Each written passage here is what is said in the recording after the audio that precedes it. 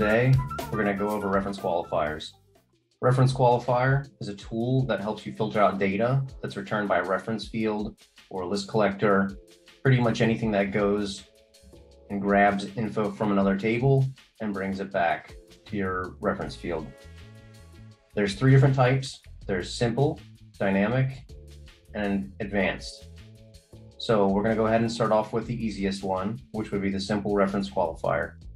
So as you can see with this catalog item, it is a, it's going to use the simple reference qualifier.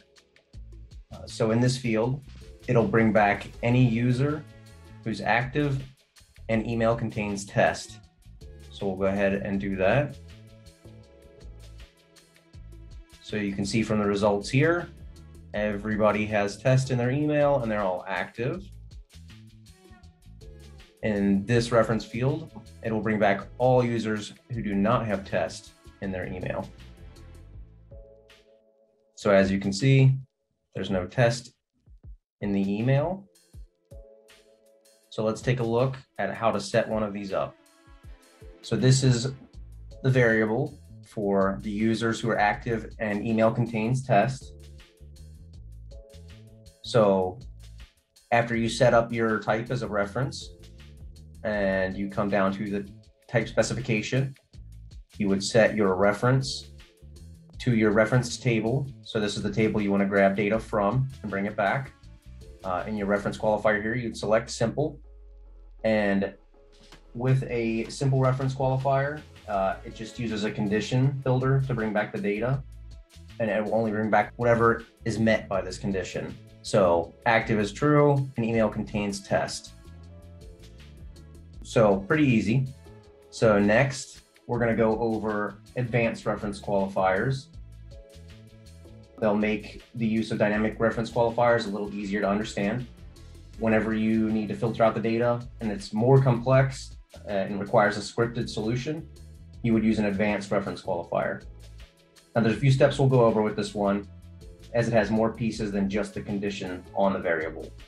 So here is the catalog item that we're going to use as an example. So what you can do is select the user that you wish to edit. And so you select the user you wish to edit and it will bring up in the remove from group field, it'll bring a list of groups that the user is currently in.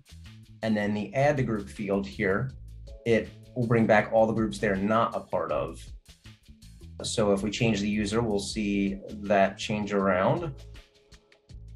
So yeah, as you can see, all of those groups shifted.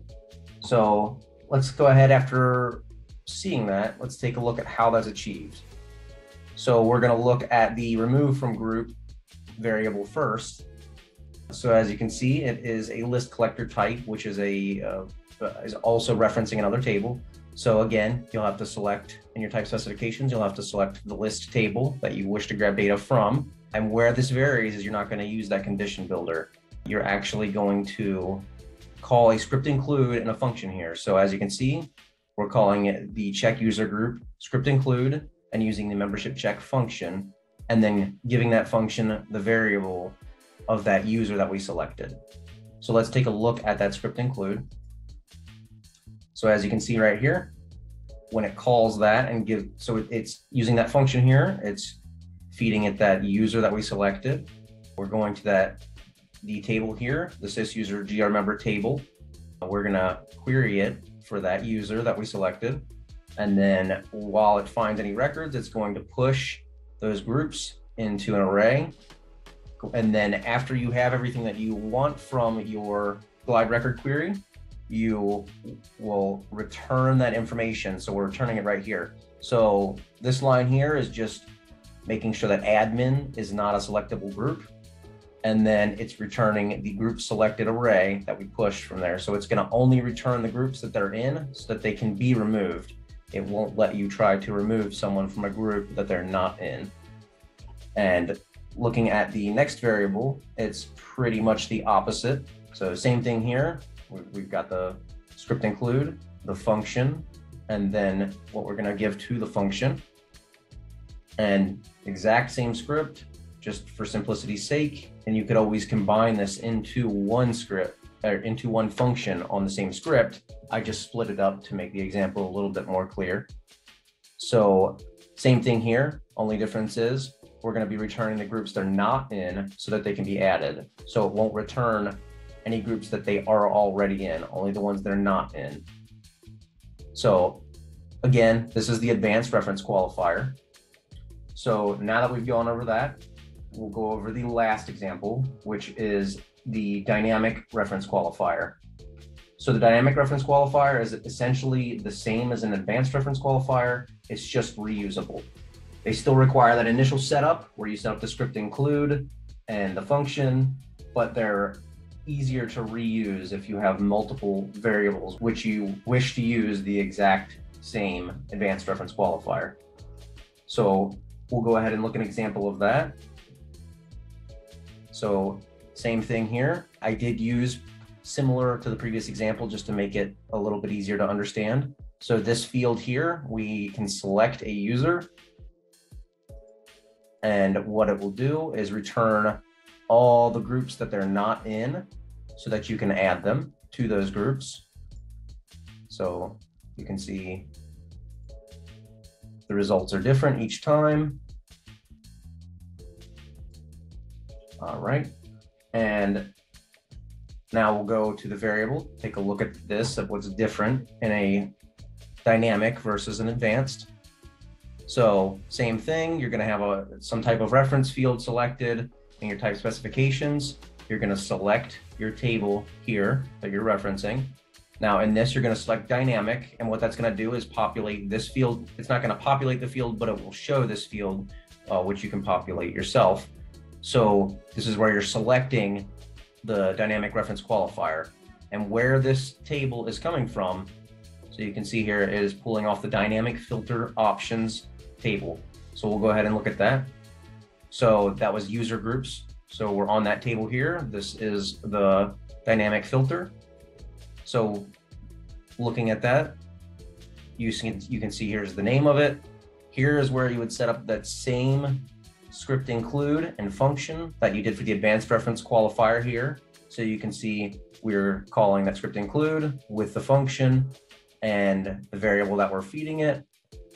Now, obviously, when you're using a dynamic reference qualifier, you're going to want to try to make your variables as general as possible because the more specific it is, the more specific it's going to be in its use case. Now, the only difference in this field versus the other one, as you can see, you do not need to prefix JavaScript to your script include after you put it in this, this field here. And then you're going to select your reference table right here. And why that's important is we'll go back to our variable page here. If you select a different table, you're actually going to get different dynamic filters. So let's just choose this table, clear this out, and let's search that table. So as you can see, there's no dynamic filters on this sys GraphQL type resolver table. So if we want to use that user group, the user groups dynamic filter that we created earlier, we're going to need to go to the sys user table. So we'll go ahead and put that back in and we'll watch that change. Gotta find the table. There it is. So now that we're on that table again, so that's actually the sysuser group table, my mistake.